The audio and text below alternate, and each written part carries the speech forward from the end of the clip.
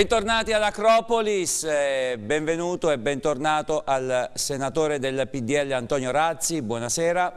Eh, bentornato anche al parlamentare, al deputato del PDL, l'onorevole Paolo Tancredi. Buonasera. Buonasera, siamo in attesa anche dell'assessore regionale Mauro Febbo, assessore eh, all'emigrazione e alle politiche agricole, perché questa sera ci occuperemo di quello che sta accadendo all'interno del PDL.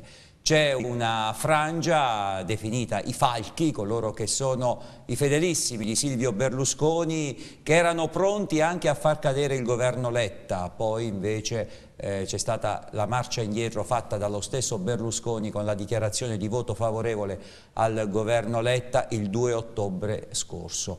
E c'era l'altra frangia, quella definita delle colombe, che eh, erano per far andare avanti il governo, per dare una certa stabilità all'Italia, al governo guidato da Letta e che fa capo al segretario del PDL, Angelino Alfano. E poi c'è una frangia di coloro che possiamo definire attendisti, cioè di coloro che stanno lì e vedono un po' come vanno le cose, sono a metà strada tra i falchi e le colombe vedere eh, che cosa succede. Ci sarà il ritorno a Forza Italia 2.0, lo ha annunciato Silvio Berlusconi, e il PDL che fine farà? O meglio, ci sarà questo ritorno a Forza Italia o si andrà avanti ancora con il PDL. Abbiamo provato a fare la cronistoria raccontando quello che è successo negli ultimi giorni nel servizio di Lorenzo Mazzaufo. Abbiamo deciso, non senza interno travaglio, di eh, esprimere un voto di fiducia a questo Governo. Con queste parole, mercoledì 2 ottobre, Silvio Berlusconi spiazza tutti dando la fiducia al governo del Premier Enrico Letta. All'inizio sembra un'abile mossa da giocatore di poker, un blef con lo scopo di creare disagio in alcune correnti del PD che mal digeriscono l'abbraccio improvviso del Cavaliere ed avviare così una crisi per tornare nuovamente alle elezioni. In realtà, pochi minuti dopo, diventa chiaro che quella di Berlusconi è stata quasi una resa personale, un allineamento con la linea dettata dal Fano, da lui sempre osteggiata.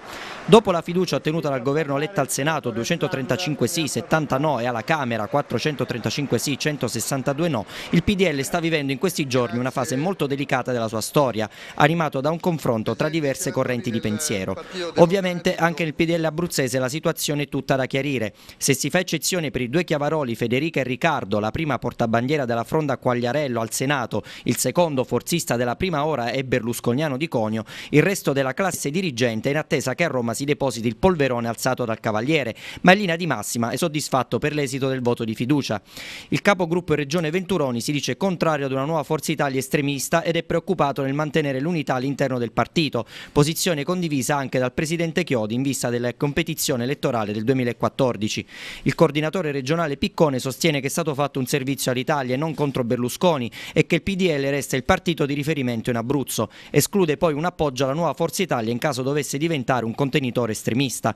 Anche il senatore Paolo Tancredi si posiziona a fianco di Alfano e ritiene che si sia aperto un serio confronto tra le varie anime del PDL, un confronto che ha spinto anche Berlusconi a dare la fiducia per il bene del Paese, delle associazioni di categoria e delle parti sociali.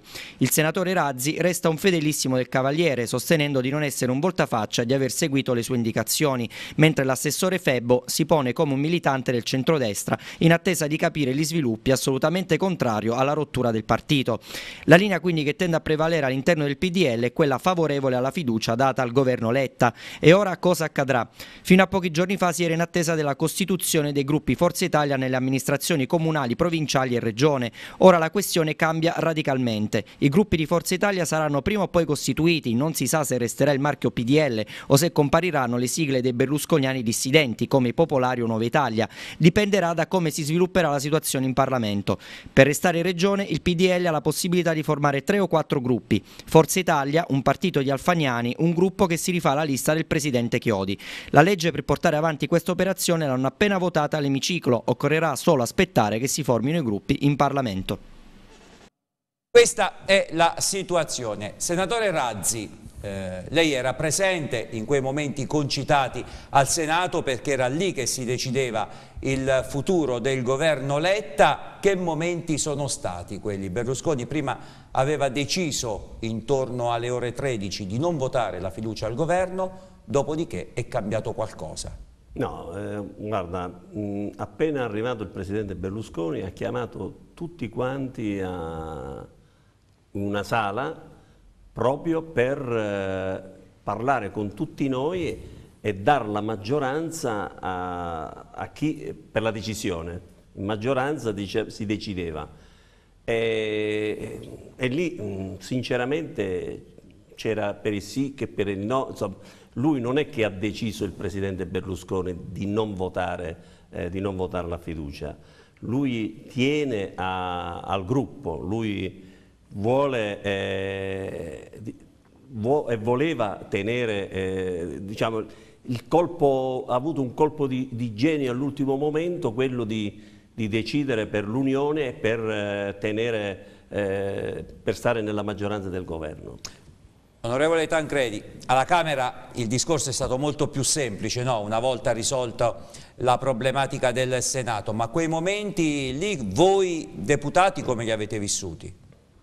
Ah, sono stati momenti difficili, anche di tormento interiore, ma non solo quei momenti, anche nelle giornate precedenti, però insomma sono momenti che nella politica ci stanno, nella politica normale, perché il confronto politico, la battaglia, anche all'interno dello stesso partito, l'affermarsi di eh, sensibilità diverse e il confrontarsi sensibilità diverse è una cosa normale, non ci deve essere. Naturalmente noi non rinneghiamo una leadership eh, carismatica che è quella di Silvio Berlusconi che ha creato questo movimento politico dove noi stiamo, che ne è il fondatore e assolutamente il leader incontrastato. Quindi e io non direi che ci siamo divisi in fedelissimi, a parte che la parola fedele in politica io non la userei, fedele si usa per i cani, insomma, io credo che la lealtà sia una cosa, un concetto più appropriato. Dopodiché il servizio è impreciso, io ho sentito dire per esempio che Chiavaroli è un forzista della prima ora, no, non c'era. Chiavaroli, Riccardo lei no. si riferisce? No. Vabbè, prendiamo atto di quello che Beh, dice. no, glielo dico, non è che prendiamo atto. No, dico prendiamo atto. Nel 1994 Chiavaroli fu l'autore della nostra sconfitta alla regione. Lui si candidò eh, presidente della regione con...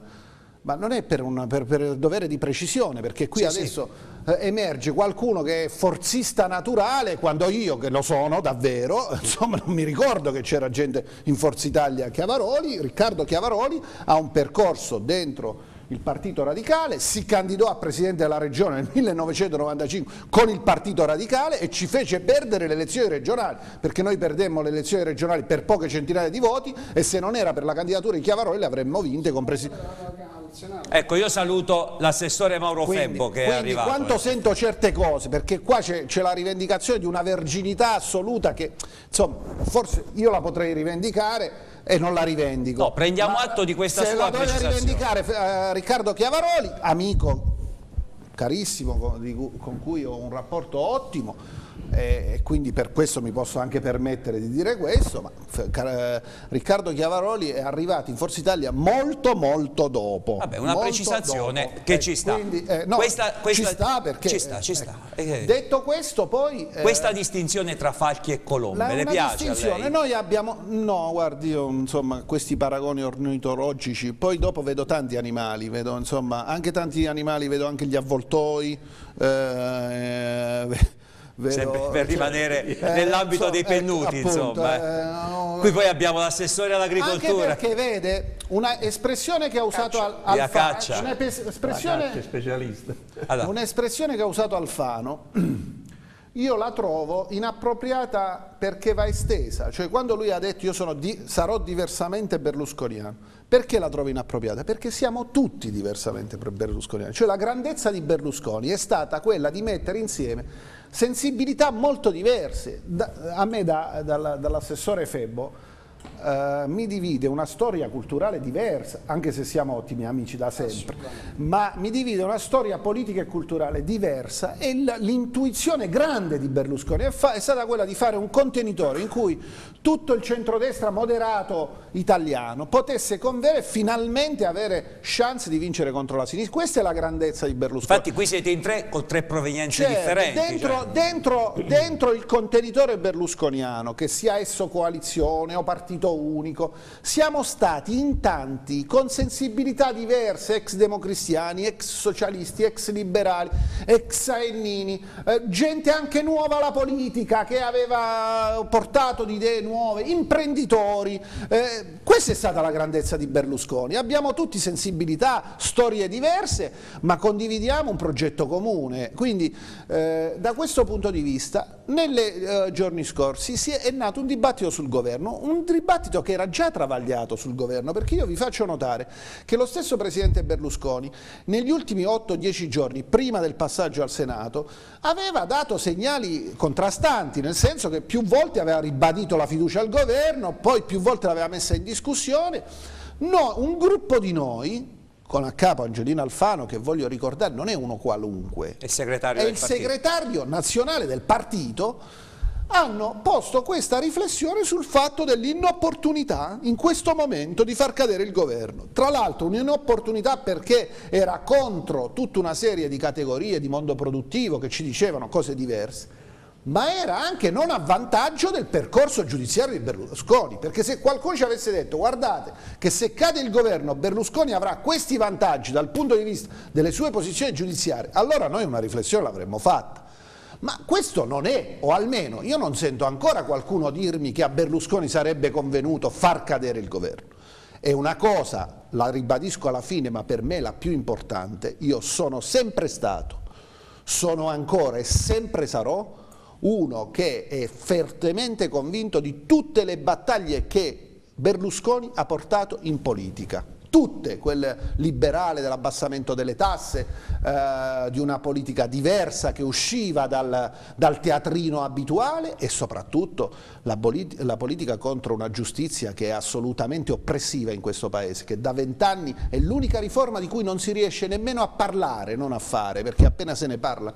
È, è, è una giustizia che è da mettere al, sotto l'attenzione non solo per il caso Berlusconi, che Ma è un caso della giustizia è un argomento di cui parleremo fra poco, no, ecco, lo affronteremo a parte. Nessun cedimento sul vergognoso sulle sentenze contro Berlusconi che sono evidentemente sentenze strumentali e poi, cosa che devo dire anche, perché tra noi sono quello che è stato in cinque anni nella giunta per le elezioni e per le immunità, quindi conosco passaggi diversi e so che quel passaggio che hanno fatto fare a Berlusconi è unico nella storia della Giunta. Poi ce lo spiegherà, ci, ne parleremo. Il comportamento del PD, al di là della nostra alleanza di governo, è un comportamento vergognoso. Ecco Febbo, a proposito del PD, eh, l'accusa o la critica che hanno sempre mosso è quella di vedere il PDL o Forza Italia prima o dopo come definizione che hanno dato più volte come partito o gruppo padronale, cioè dove Berlusconi comanda, è un'espressione che hanno usato parecchie volte.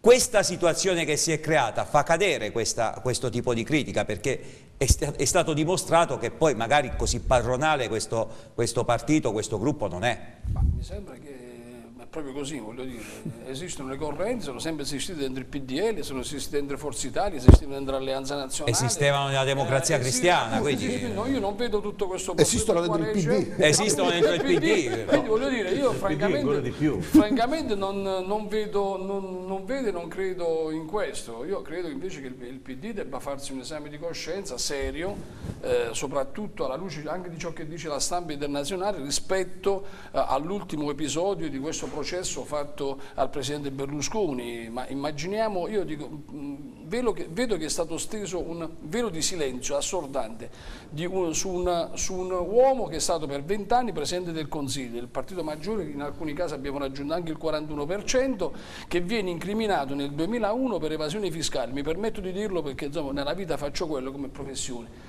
Nel 96 lui rinuncia a tutte le cariche eh, ufficialmente di un gruppo quotato in borsa Quindi 2001 avrebbe fatto questa invasione di un gruppo che nel 96 lui si spoglia, quotato in borsa, non va sotto processo per evasione. Il presidente, il consiglio di amministrazione, l'amministratore delegato, il CDA, il revisore dei conti, la Consob che dovrebbe sorvegliare chi va incriminato Berlusconi. Ma credo che veramente, credo veramente, io credo a un leader politico, questo è veramente in gioco la democrazia, io veramente qui, eh, cioè se fosse successo il contrario, che un leader di centro-sinistra fosse incappato in, questa, in, questo guaio giudiziario non si dà la possibilità di andare a vedere se quella norma è costituzionale o incostituzionale. Io credo veramente che stiamo dicendo delle eresie, indipendentemente poi da tutti gli altri problemi. Credo che era d'obbligo capire se c'erano gli estremi per vedere intanto che cosa dice la Corte Europea, perché tanto poi ci divertiremo a vedere cosa dirà la Corte Europea, poi tanti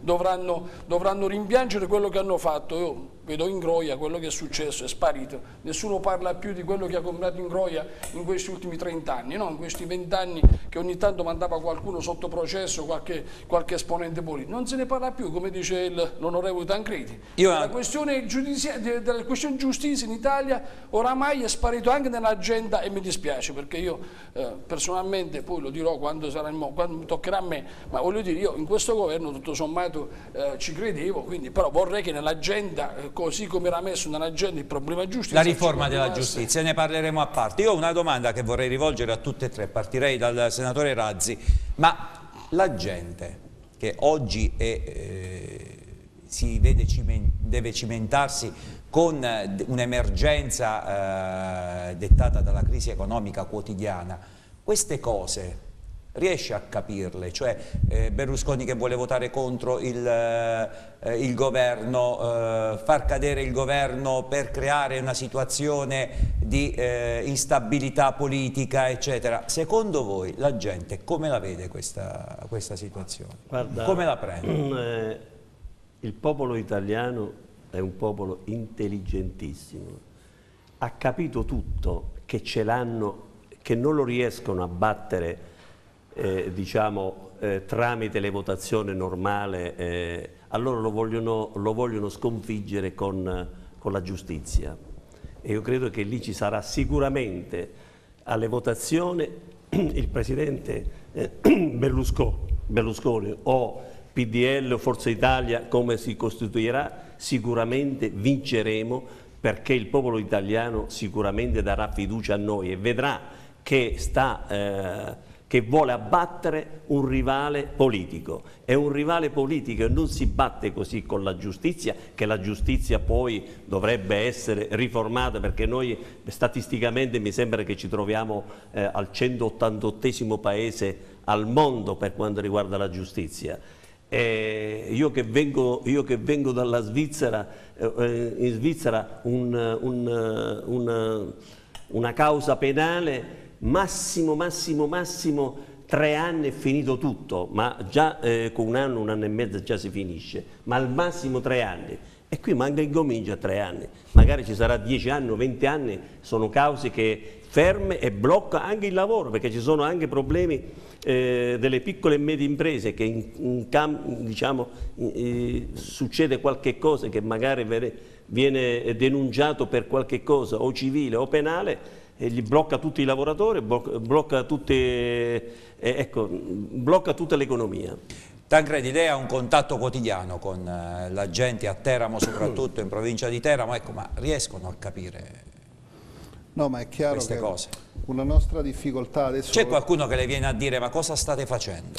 Beh, in molti negli ultimi tempi, io devo dire tutte le categorie, eh. cioè io ho avuto anche l'associazione bancaria, le associazioni industriali, gli artigiani, noi abbiamo avuto un bombardamento. È vero che altre volte abbiamo preso posizioni anche in contrasto con eh, dire, le, le, le, i, i leader dell'opinione pubblica, diciamo.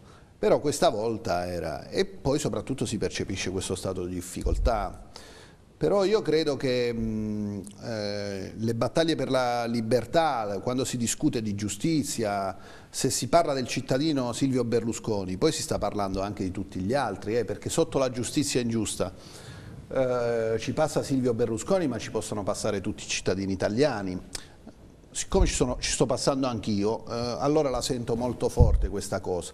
So che spesso eh, se uno non ci passa non si Mi rende... riferisco al suo caso, la notizia di, mi sembra, due o tre giorni fa, no? Sì, vabbè, non, è adesso non volevo parlare del no, caso mio. tanto per, per dirlo. Non volevo parlare del caso mio, però so per esperienza personale che quando sei accusato di una cosa tanto è, poi con voi della stampa che insistete tutte le volte, si cambia anche carattere. eh. Cioè io ho cambiato carattere, perché insomma te le fai delle domande, insomma non è che eh, non è facile per uno come me che non avrebbe mai pensato nella vita di essere sottoposto a un'indagine penale. Poi dico sempre che ho la fortuna io di vivere in una piccola città, in provincia, dove mi conoscono tutti, quindi eh, dico a tutti, ma sapete che macchina ho, i figli dove vanno a scuola, mia moglie che vestiti si mette, le vacanze che faccio, quindi insomma credo che uno può dare un giudizio di una persona che vede tutti i giorni.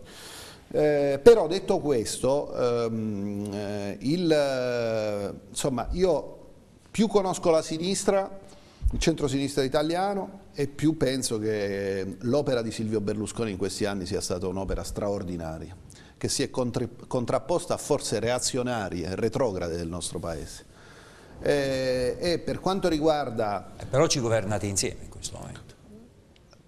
Noi ci governiamo insieme perché è un atto di responsabilità, come succede anche, ma certamente, ma questo è la politica, lo deve fare. C'è un obiettivo comune in Ma questo io, momento. guardi, io ritorno alle parole di, di Napolitano alla- al suo discorso di insediamento, il secondo insediamento. E la cosa incredibile in Italia è che adesso gli accordi in politica vengono visti come ma l'accordo e il compromesso è la cosa più nobile della politica, è la cosa più seria che la politica deve fare.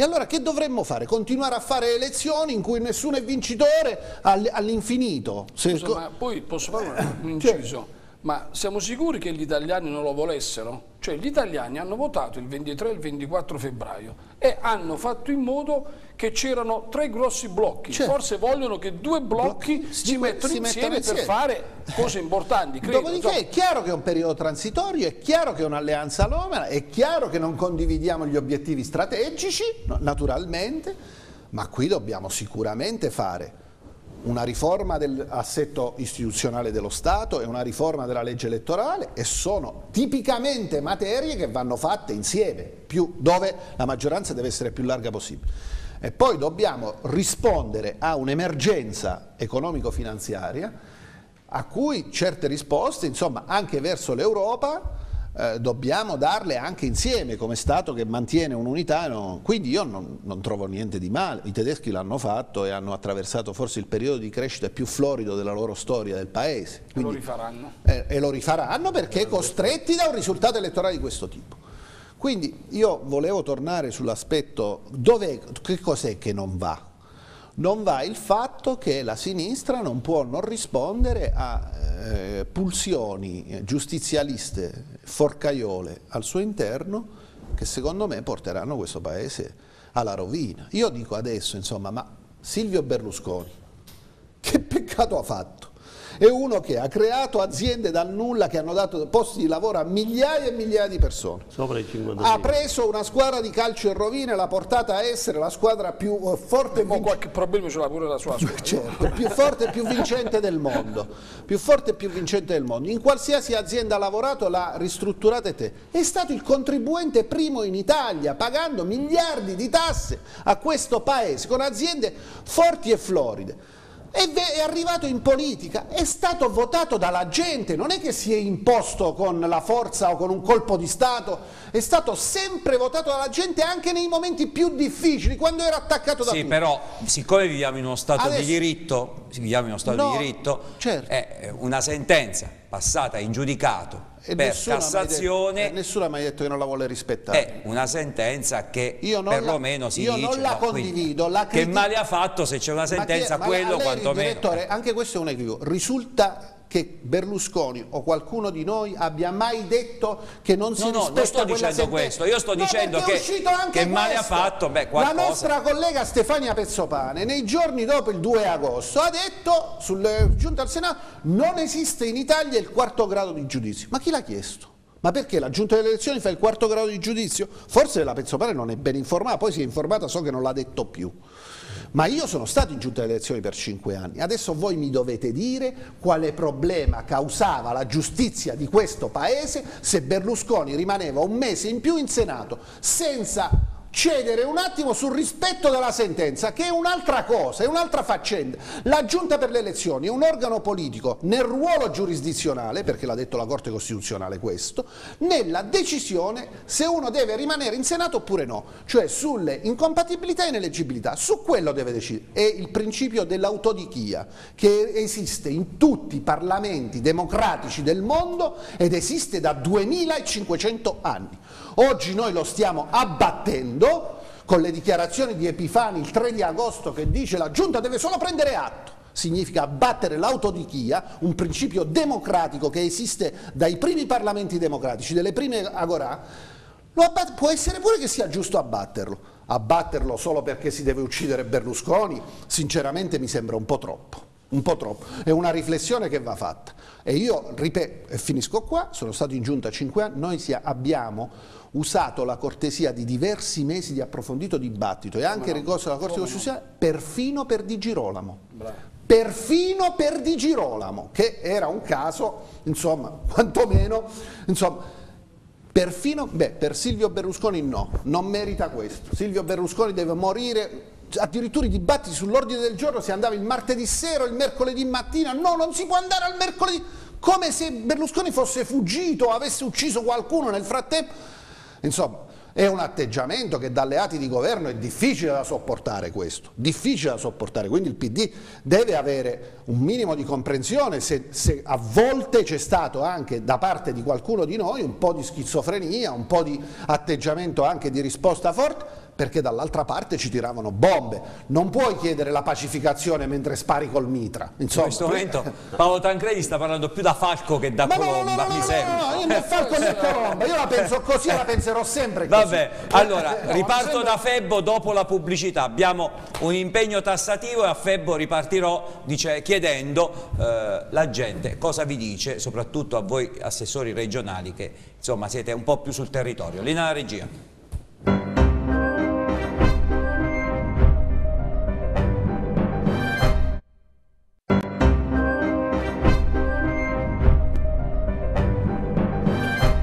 Allora Febbo, la gente capisce? Soprattutto gli imprenditori, quelli agricoli con i quali lei magari tratta, che cosa vi dicono? Che cosa vi chiedono? Ma la gente in questo momento, gli imprenditori in questo momento hanno una serie di difficoltà che non dipendono dal caso Berlusconi oramai sono No, due, io parlo anni. di stabilità di governo. Sì, la, io credo che eh, ci fosse questa stragrande maggioranza degli imprenditori, dei cittadini che volevano e chiedevano la eh, stabilità di governo, di continuare questo percorso. L'ho detto prima, io credo che secondo me gli stessi italiani già quando hanno votato ci hanno indicato la strada. Io sono convinto perché poi alla fine gli elettori hanno sempre ragione, quindi secondo me gli elettori già a febbraio ci hanno detto dovete mettervi insieme perché in Italia se non si fanno quelle 3-4 riforme importanti e si possono fare solo con, con, ampie maggioranze, ma soprattutto bisogna avere anche il coraggio di fare scelte economiche importanti. Il problema della TAV non si risolve stando noi al governo, stando eh, il PD al governo. Se c'è una coalizione forte che riesce a respingere l'attacco di questi terroristi, si fa, altrimenti non si fa, così come le scelte eh, sul, ehm, sulle nuove energie, eccetera. Che dobbiamo, do, do, dobbiamo farlo e credo che eh, gli imprenditori e, e i cittadini volessero la continuazione del governo, però ripeto, qui stiamo parlando adesso eh, di altro, prima Paolo faceva, eh, Tancredi faceva riferimento a certe posizioni, io stavo, gli stavo ricordando, volevo ricordarli ma lui se lo ricorda meglio di me, ciò che ha fatto il PDL con l'onorevole tedesco, eh, quello del, del, della Puglia, l'ex assessore alla sanità della Puglia, voglio dire, eh, c'è qui veramente, ecco perché noi poniamo il punto sull'attacco alla democrazia che si sta facendo, eh, solo questo diciamo, non che non vogliamo rispettare o che Berlusconi non vuole rispettare. Veramente si sta facendo un insulto alla democrazia. Io spero e mi auguro che con un attimo di serenità, come hanno sempre fatto gli italiani, passato questo momento adesso che eh, forse anche noi abbiamo dato un attimo di, di eh, fibrillazione eccessiva, quindi magari questo, questo, scontro enfatizzato tra le falche i colombi, così come ci hanno definito, ci ha portato un attimo, ma io penso che gli italiani, nel momento che il PDL eh, così come ha fatto, si è ricompattato, avrà, avrà eh, le, le, linee guida, io credo che gli italiani capiranno il motivo di questa forte presa di posizione. Poi è chiaro che noi al governo le, le cose dobbiamo dire, al tutto. governo dobbiamo dire che non è pensabile, non è sostenibile una pressione tributaria come quella che c'è. Eh, io mi sarei aspettato, ma sono certo che i nostri ministri lo faranno, eh, che eh, non si pagherà la seconda rata dell'IMU, io sono certo che i nostri ministri interverranno per dire la, che bisogna tagliare eh, sul cuneo fiscale fiscale che le imprese non lo sopportano più. Oggi, io oggi o ieri ho letto di Befera, anzi oggi mi sembra, le dichiarazioni di Befera che finalmente capisce che l'evasione è diventata necessità per gli imprenditori. Perché è così, oggi stavo leggendo, mentre venivo qui che purtroppo... Quando lo diceva Berlusconi sembrava che dicessi... dicessi finalmente si è accorto, si sono accorti che è inutile aumentare l'IVA al 22%. Oggi abbiamo il dato che fino al 31 agosto gli imprenditori hanno versato il 3, 3 miliardi e 700 milioni in meno di IVA. Certo. Questo è il problema. Oggi dobbiamo cambiare strategia. Ecco perché io dico che noi, noi PDL o Forza Italia come si vuole chiamare, non è questo il problema. Dobbiamo ritornare a quel che abbiamo detto all'inizio del nostro diciamo, eh, governo di coalizione. Punti fermi, noi abbiamo una riforma fiscale che deve essere fatta, noi dobbiamo essere i paladini della difesa eh, del, del, del, diciamo, del, no delle tasse. Questo dobbiamo tornare a essere, è questo che secondo me ci credono i nostri, i nostri concittadini, i nostri lettori, perché noi se non ritorniamo a difendere eh, questi principi poi avremo i problemi. Noi siamo stati, prima lo ricordava bene Paolo quando eh, ricordava il percorso fatto eh, da, Sil da, Silvio Berlusconi, io non vengo da, da, da quella parte politica, io vengo dal movimento sociale, ho fatto, eh, fatto le organizzazioni giovanili del Fronte della Giovane Italia, Fronte della Gioventù, Movimento Sociale e Alleanza Nazionale. Però eh, io, io sono grato a Silvio Berlusconi perché nel 93 quando lui disse quella famosa frase nello scontro Rutelli Fini Beh, io credo che lì c'è stata la svolta. Io avrei fatto, continuato a fare consigliere eh, del movimento sociale di opposizione, saremmo stati uno o due al Comune di Chiedi, a Cuculo, adesso io mi di Primio.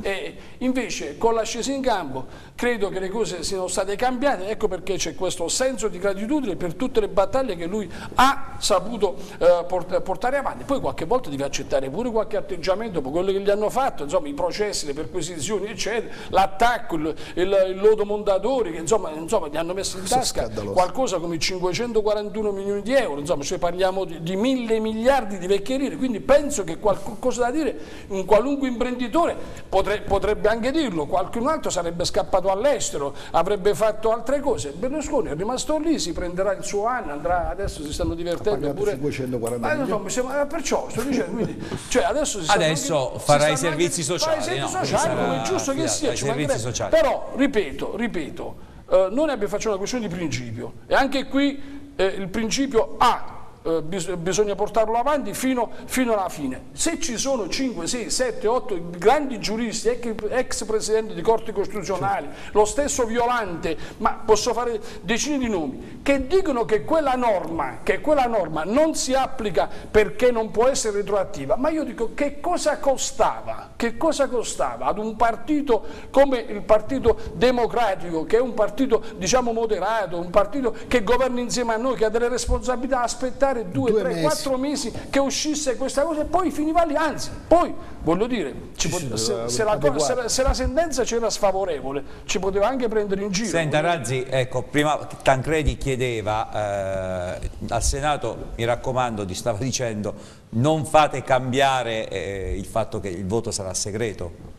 Ma sicuramente. Lì, basta... è un'altra linea del Piave per voi, no? no? ma basta 20, 20, firme, cioè il Presidente Grasso non può da oggi a domani cambiare il sistema, eh, cioè, non, non, speriamo, non è che va lì a cambiare il sistema esclusivamente solo perché è, è, è Silvio Berlusconi. Eh, no, succederebbe da paese dopo, come dice, come dice l'amico eh, Paolo D'Angredi succederebbe veramente una, una, cosa molto sgradevole ma sicuramente che eh, riuscirà eh, a scatenare anche l'ira di tutti gli italiani. Insomma non è, non è possibile. Ritornando poi a, ecco lei questo a, governo era pronto a farlo cadere comunque col suo voto? Ma io ero vicino a Berlusconi. Quello che decideva Berlusconi era la mia, anche la, la stessa mia decisione. Io ripeto, Io sono molto... Non si è posto il problema, magari, ecco, se cade il governo, magari in Italia... Eh, ma dopo... Se, eh, qualche problemino no, in più dopo, potremmo averlo. No, riflettendo... Già sono tanti quelli che abbiamo. No, riflettendo, se abbiamo controllato il sistema delle borse a quel momento, se è stato, se è stato parlato, lì si è stato parlato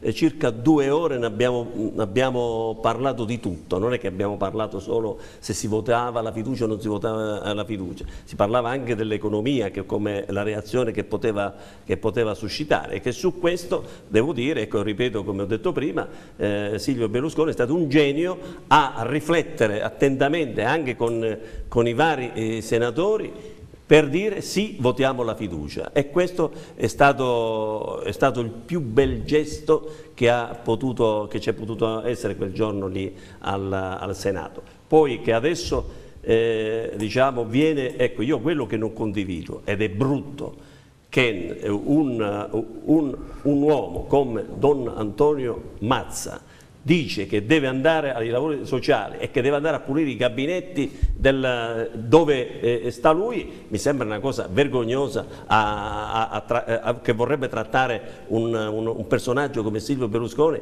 eh, così, insomma, una, io oggi ho letto sul sul giornale, il giornale. E ieri l'avevo anche letto dicendo viene a cogliere i pomodori, ma ma ragazzi, dico un po' prima di tutto ancora... ancora... Bisognerebbe fare i conti anche con l'età, insomma, per, a parte l'età, insomma, a certe età che diciamo, si possa fare diceva, come, diceva prima, eh? come diceva Paolo, eh, un uomo che dà lavoro a quasi a quasi 60.000 famiglie e che ha aperto eh, 11 televisioni e che è gratuito. Io ho potuto assistere alle partite di calcio a Italia 1 gratuito sulla RAI o su Sky, dobbiamo pagare. Allora, una televisione che mette un servizio a tutti i cittadini. Anche questa è gratuita, Razzi. Sì, appunto, anche TV sì, però non si vede l'Italia. Anche TV no, però, eh, però si vede l'Abruzzo. Le, partite, che... le partite dirette non lo possiamo, non lo possiamo vedere. Champion League, Champion League che giocava eh, la Juventus. Non dica così, se no poi va a finire su eh, Champions League. Eh, ecco, Champions eh. Diciamo le cose, no poi va a finire. No, ma no, va bene, se Crozza dopo mi, mi Poi Crozza ci fa... Mi riprende io. più popolare ancora.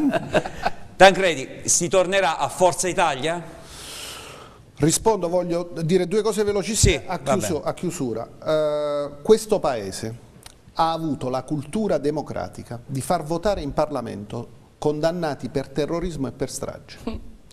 Questo paese ha resistito, la sua cultura democratica ha resistito a, anche a queste cose qui e noi pensiamo di non poter portare avanti, come diceva giustamente, davanti a un'eccezione fondatissima di costituzionalità di una legge, pensare che il leader dell'opposizione, quello che prende sotto di sé un'intera coalizione, prende voti agli italiani, ha un consenso ancora altissimo, non, non, aprire un dibattito anche a livello costituzionale per questo. Altra questione il voto segreto. A parte che è un regolamento vigente del Senato e cambiarlo adesso per giudicare il caso di una persona è veramente da, da paese delle, ban delle, banane, non, non c'è dubbio, questo sarebbe da paese delle banane. Qualcuno obietta, dice ma perché non si deve fare chiaramente, oggi c'è questo mito della trasparenza, no? della... eh, ma non è così, io non sono d'accordo ed è così da sempre. Io ricordo che l'ostracismo nell'agora greca era una cosa che si faceva sui mattoni ed era segreto.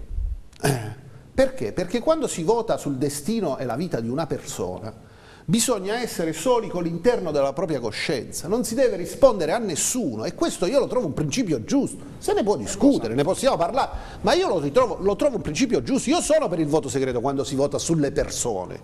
Lo trovo un fatto perché la persona ha un valore grandissimo e individuale che sfugge a tutte le sovrastrutture. Io non devo rispondere al mio partito o alla televisione o ai gruppi di interesse quando voto sul destino personale di una persona. È una questione di coscienza. È una questione lei. di coscienza individuale individuale. Questo io, io lo trovo giustissimo, giustissimo.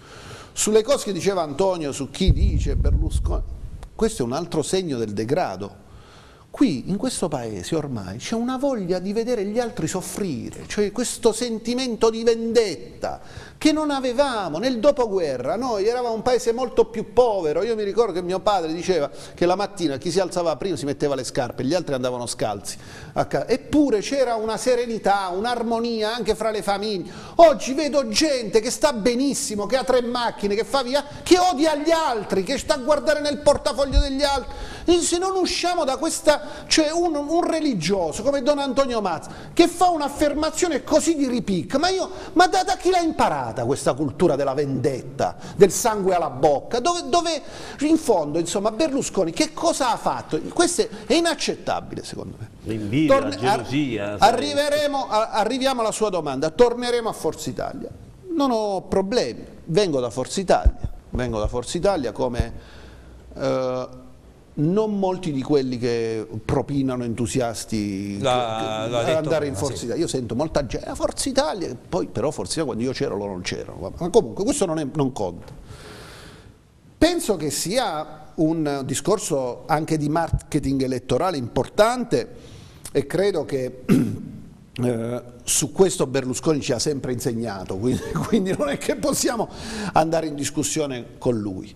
Eh, io credo che noi non ci dobbiamo ri rinchiudere nei nostri orticelli del centrodestra, io penso che il progetto di un unico contenitore del centrodestra rimane attuale eh, e lo vedo ancora attuale. Dopodiché se è un fatto, ripeto, nominalistico di marketing elettorale mi va benissimo, eh, non ho problemi. Noi poniamo un problema però, e questo è bene che io lo dica, anche se capisco, noi poniamo il problema che la leadership, la segreteria di Angelino Alfano può essere superata solo da un congresso e da un fatto partecipativo all'interno del partito. Cioè con un cambio di scartoffie non si può togliere la segreteria ad Angiolino Alfano. Questa è una cosa che abbiamo posto al Presidente in maniera forte, formale, so che il Presidente la sta valutando in maniera eh, importante, non, non la sta sottovalutando e questo sarà. Naturalmente sono... Voi dite si può tornare a Forza Italia certo. ma con la segreteria Alfano che magari si presenta a un congresso. Che, che magari si presenta a un congresso, congresso. in cui andiamo a votare. Questa è la vostra ma non proposta. che per, per, un, per, un, cambio di carte si... ma lì Alfano l'abbiamo votato anche come segretario al PDL l'abbiamo votato. Certo. io ho fatto la testa al PDL votando Alfano dando la, io la, sto dicendo questo Antonio. Io eh? sto dicendo questo. Eh, attenzione non sono di quelli che dicono no Alfano segretario forever. No perché forever c'è solo Berlusconi per noi.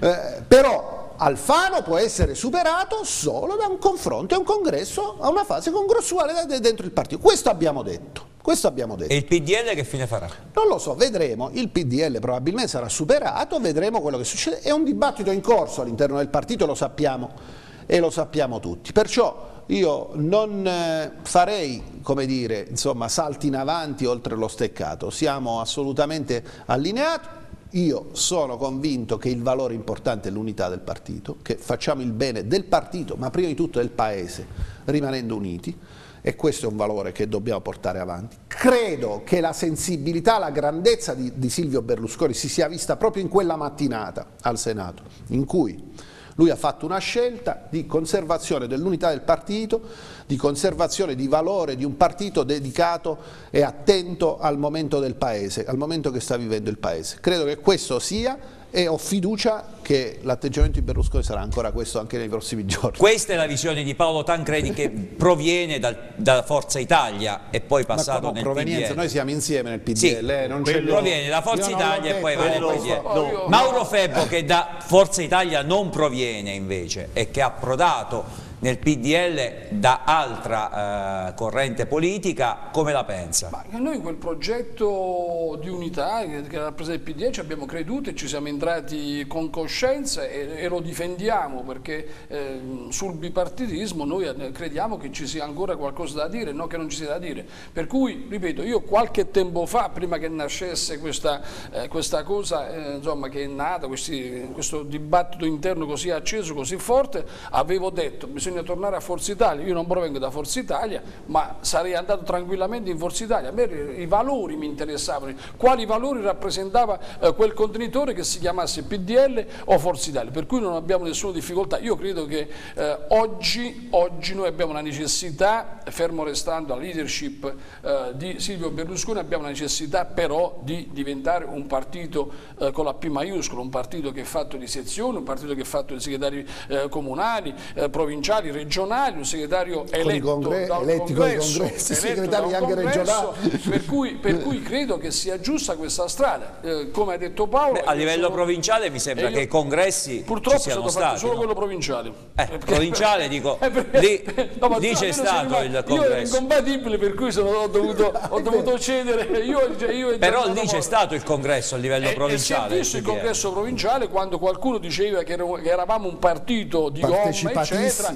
Stato, io ricordo i numeri, insomma al mio congresso hanno partecipato oltre 5.500 iscritti, eh, insomma su, su quasi 9.000, quindi voglio dire c'è voglia di partito, c'è voglia di partecipare, c'è questa necessità, io credo che l'importante, l'ha detto Paolo e mi fa piacere che l'ha detto, ma non avevo dubbi perché ho letto le sue dichiarazioni, ma anche di altri esponenti, che il partito rimanga unito eh, noi vogliamo che il partito rimanga unito. Poi, come è sempre successo in tutti i partiti del mondo, eh, ci siano le correnti, ci siano gli schieramenti, uno gli piace più un altro, eh, assolutamente sì, condivisibili, però noi dobbiamo rimanere partito unito. Quindi che si I chiami problemi... Forza Italia o che si chiami PDL, per lei l'importante è Il problema è che il contenitore riconosca eh, quei valori a cui, che sono il nostro punto di sì. riferimento, dopodiché possiamo discutere, dopodiché soprattutto dobbiamo dare, lo, lo hai detto più volte nel farci le domande, dobbiamo dare risposta agli italiani. Questa è una crisi peggiore di quella del 29 che sta lasciando, sta lasciando sul terreno tanti tanti problemi. Noi dopo questa crisi non avremo più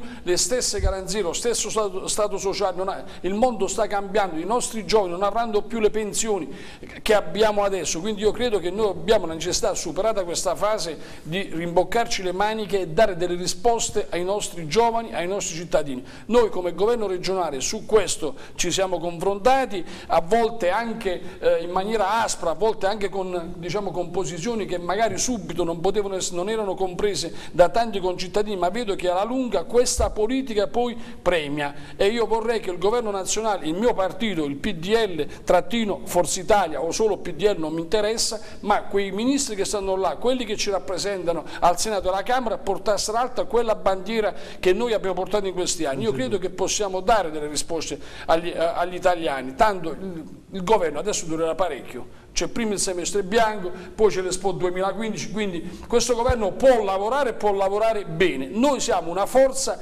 importante di quel governo e dobbiamo incidere su questo governo. Razzi, lei la sua provenienza è completamente diversa sia quella di Tancredi che quella di Febbo, no? Perché lei... No è della provenienza di Tangredi. Io no. ne, negli anni 90 ero ne, nella democrazia cristiana. sì, siccome, siccome, no. siccome Paolo Tancredi non so se è mai allora... stato nella democrazia cristiana, mi sembra di no. Per una questione anagrafica mi No, beh, anagrafica, insomma, quando è finita la democrazia cristiana ero già bello grandicello. No, non faceva non politica so, però Non allora. mi sono mai iscritto, ma non posso rinnegare il passato insomma, di famiglia. ecco, però lei non veniva né da Forza Italia né da Alleanza Nazionale. Ma, eh, no, no, no, però venivo dalla, dal centrodestra, mm. diciamo, eh, eh, sempre non sono mai stato uno di sinistra, questo lo posso confermare. Lo Io ho conosciuto dire. Antonio prima che fosse eletto con l'Italia dei Valori e lui mi disse fortemente della sua appartenenza ideale sì, al centrodestra. Già, lui già lo sapeva che è stato, mi è venuto a trovare in Svizzera, certo. abbiamo passato un paio di giorni Ma poi c'è stato un momento che Di Pietro, era, tutti quanti lo davano per candidato con il centrodestra. Sì, Io mi ricordo che Di Pietro a un certo momento tutti quanti lo davano per candidato con il centrodestra quindi, si vede, capito? quindi si vede che... Non c'è dubbio. Comunque eh, Forza Italia, come diceva l'amico Paolo, è anche un gran marketing, perché eh, Silvio Berlusconi è una persona intelligente, intelligentissima, perché ha visto che con Forza Italia ha, Beh, tutto eh, si può dire, meno che non capisca di immagine, di eh, marketing, eccetera. Ha, ha cioè riportato, quello... ha riportato eh, diciamo, eh, la volontà degli italiani ad andare a votare perché questo Forza Italia ha capito che ridà, eh, ridà molta, eh, molta, voglia di partecipazione, è quello che, che, si vuole perché noi dobbiamo recuperare quel 40% che che diciamo, non vanno più a votare, allora gli dobbiamo ridare quella carica per, eh, per, ritornare al voto e con Forza Italia io credo che sarà eh, sicuramente un grande successo. Poi voglio ricordare eh, all'amico all Paolo, e quel giorno eh, delle votazioni al Senato Berlusconi ha detto queste precise parole, adesso ho convinto voi adesso vado alla Camera a convincere quelli della Camera a votare la fiducia. Perciò era, lui voleva a me questa... mi aveva già convinto. Ah?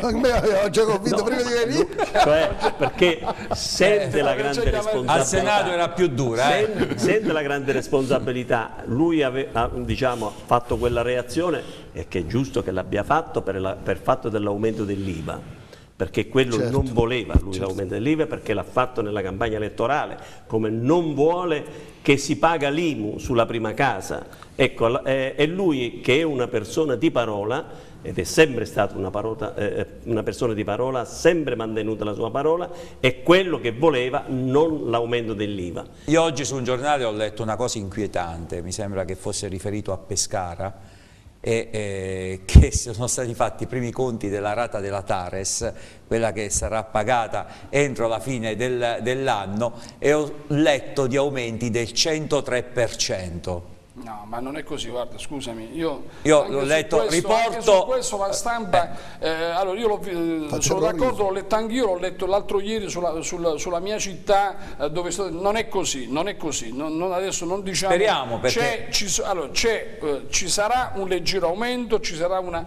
una, una diversificazione tra... Eh, nasce, nasce una, una nuova tassa tra eh, il proprietario e l'usufruttuario, cioè chi gestisce il bene, mentre prima non era così. Quindi voglio dire, è chiaro che si sta cercando di andare a recuperare. Io personalmente eh, sono contrario, l'ho detto prima, cioè spero che il nostro partito intervenga, perché, però adesso fare questi allarmismi, sparare, eh, sparare, queste cifre come spesso avviene, secondo me va fatto un attimo di riflessione. No, io perché ripeto, siamo ad ottobre. Eh, sì, cioè... però, però siccome, siccome, io lo, sto vedendo nella mia città, dove insomma eh, sto vedendo insieme all'amministrazione stiamo ragionando sul bilancio di previsione e sulle cose che verranno e ho visto articoli che sono usciti sulla mia città il 300%, eh, oggi leggo su Pescara il 103%, Io lo, noi l'abbiamo sviluppato, non è così, ci sono dei problemi di interpretazione, ci sono dei problemi che tutto va affinato, è chiaro che se dovesse essere così eh, diventa, diventa insostenibile. Ma come... mi dite, mi spiegate, lo chiedo anche ai parlamentari, perché è un mistero doloroso questa di una tassa che si deve pagare entro la fine dell'anno e a ottobre ancora uno, un cittadino non sa quanto deve pagare. È un percorso lunghissimo, poi alcuni comuni si sono adeguati al passaggio della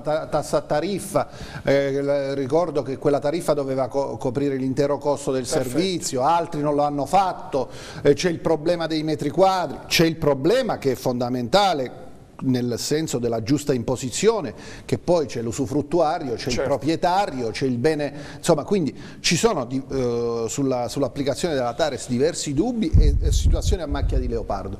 I comuni le stanno sviluppando, il, il, il Ministero dell'Economia ci sta, ci sta lavorando, vedremo. Insomma, fare... Però è anomala come situazione questa. Assolutamente no? Non c'è dubbio che è anomala, come, sì come la, anomala la situazione dell'IMU, però vede quando si parlava male di Tremonti e si parlava male dei tagli lineari, no? poi abbiamo visto che adesso insomma, il governo, è vero che è un governo che lavora con, si è insediato a bilancio già scritto, no? quindi sì. è più difficile fare dei tagli quando tu hai un bilancio già scritto davanti.